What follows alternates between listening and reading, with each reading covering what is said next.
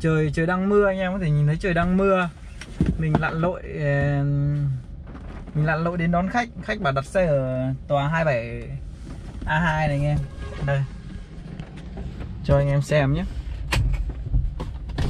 Đây 27 A2 đây. MB Bank đây anh em. Thì lúc ờ, trước khi đến đã gọi cho khách rồi. Chán thực sự luôn anh em Alo. À, anh anh đặt xe ở 27A2 thành phố Giao Lưu à? Đúng rồi, đúng rồi. Ờ, đúng rồi, chỗ trước cái ngân hàng MB nhá. À vâng, ok anh đến trước đấy à? Ờ, tắt chỗ MB cho anh. Vâng vâng vâng. Số đi ạ. thì ờ, khi tới nơi mình có điện đây tới nơi điện Alo. Anh ơi là ở cái tòa Green Star đúng không anh? Đúng rồi, Green Star tòa 27A2. Đúng rồi, chỗ MB nhá. Ok, Ờ, ok. cháu nó xuống rồi đấy.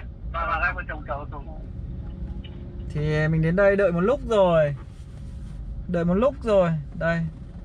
Sau một lúc sau thì khách điện để bảo là hủy. Em ơi, dạ, em em em gọi về tổng đài hủy chuyến cho anh gái vì thằng ờ, vợ chồng nó xuống đợi một lúc không thấy nó lại gọi xe dịch vụ quá rồi nhá. À vâng vâng, ok ok. Ờ ờ ờ thông cảm nhá. thực sự rất là chán luôn anh em ạ. Trời đang mưa. Trời đang mưa mà những cái hãng xe cũng sẽ rất là nhiều hãng bị cháy xe khó gọi xe. Trong khi đó ờ, một mình khách lại gọi ờ, hai ba hãng. Hãng nào đến trước thì hãng ấy chạy. Sự thế làm thế không có tâm. Anh em như tôi đây cũng phải đi lặn lội hơn cây số đến đây. Đến thì lại bảo là à, hủy chuyến. Tôi thực sự rất là ghét cái kiểu mà mà mà đặt hai ba hãng xong thì hãng nào đến trước thì chạy. Thực sự thế nó không hay anh em ạ. Rằng mình mình à, đặt một hãng thôi. Ví dụ như hãng nào người ta nhận rồi thì ok, đợi hãng đấy. Chứ trời đã mưa như thế này rồi, thiếu xe rồi mà lại cứ đặt hai, ba hãng. Đến nơi khách hủy, vừa nãy có một chuyến thì tôi cũng chả dám nhận. Bây giờ nhận chuyến này thì nhiều khi cũng sợ anh em ạ. Nhiều khi nhiều khi cũng tức lắm nhưng mà cũng không làm gì được anh em. Mình à, nhiệt tình à, đi đón khách xa nhưng mà khách ấy lại chơi bài gọi hai hãng. Đây cũng là lần thứ hai tôi nhận được kiểu này rồi. Điện xác nhận tử tế với khách là mình đến đón. Mình đã nhận cuộc là mình đến đón thế thôi. Thế mà đến đón thì khách lại bảo đi xe khác rồi. Đây còn à, vừa đây tôi đến đón tôi đợi một lúc cơ. Đợi cỡ khoảng à, năm bảy phút bảy phút khách lại bảo là gọi xe dịch vụ. Nghe buồn cười thật. Nó rất là ức chế anh em ạ. Thà rằng à, đặt xong mình hủy luôn còn hơn, hôm nay lại lặn lội đến tận nơi rồi, xong lại hủy. Xong lại bảo đi xe khác rồi. Cái xe nào, hãng nào đến trước là đi. À quên để cho anh em xem cái doanh thu ngày hôm nay nhé để tôi tật gọn ở đây để xem cho anh em xem cái doanh thu ngày hôm nay.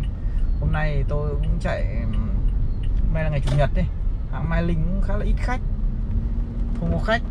Hôm nay tôi chạy được à, một lốt sân bay. Một lốt sân bay hôm nay rồi, vừa rồi chạy thêm một khúc phố nữa. Thì tôi in cái chốt ca ra cho anh em xem nhé. Một lốt sân bay thì hôm nay tôi chạy về lốt sân bay chạy về Lạc Long Quân.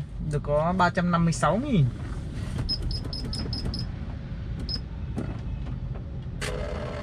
Đây tôi in chút ca cho anh em xem là chạy bao nhiêu tiền nhé. Chủ nhật thứ thứ bảy chủ nhật thì Mai Linh gọi là móm luôn. Đây cho anh em xem đây đây là cái chốt cà tôi. Chạy được có hai cuốc thôi. Hiện tại tôi vẫn đang ở chỗ bộ công an, chỗ đường phạm văn đồng ấy. Chạy 66 km. Trong 4 km thì có khách. Nhưng mà vấn đề là bây giờ tôi sẽ phải đi về. Tôi phải đi, sẽ phải đi về đi về trên sân bay nữa. Thì nó cũng phải rơi khoảng 25 cây là không có khách nữa. Thì hôm nay chạy cỡ khoảng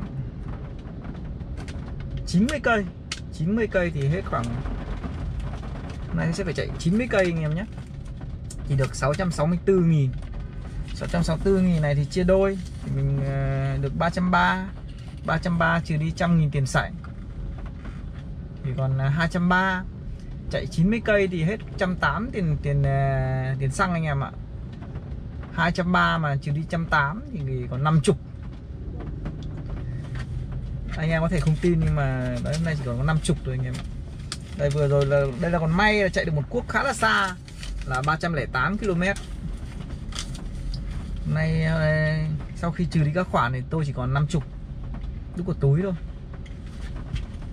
Vừa rồi lại gặp cái cuốc ức chế quá anh em ạ. Đấy, cuốc tôi vừa chia sẻ cho anh em. Thực sự là nếu mà kể anh em mà trời có mưa, có cháy xe thì hãng sẽ là có xe rồi mà lại vẫn đặt hãng khác nữa. Cứ gọi hai hãng một lúc xong rồi hãng nào đến trước đón, thực sự thế nó nó rất là bất công với cả tài xế. Mà gây rất là ức, ức chế khó chịu anh em ạ. Thực sự ức chế luôn anh em ạ. Tôi quyết định đi về luôn. Bây giờ mới là 17 giờ 49 phút thôi. Trời đang mưa.